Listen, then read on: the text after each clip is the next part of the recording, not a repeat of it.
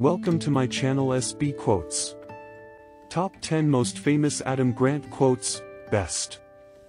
This is what I find most magnetic about successful givers, they get to the top without cutting others down, finding ways of expanding the pie that benefit themselves and the people around them.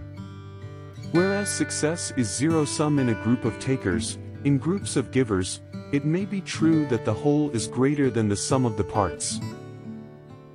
The most meaningful way to succeed is to help others succeed. Focus attention and energy on making a difference in the lives of others, and success might follow as a byproduct. Highly successful people have three things in common, motivation, ability, and opportunity.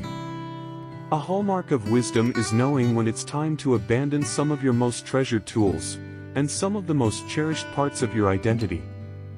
If we want to forecast whether the originators of a novel idea will be successful, we need to look beyond the enthusiasm they express about their ideas and focus on the enthusiasm for execution that they reveal through their actions.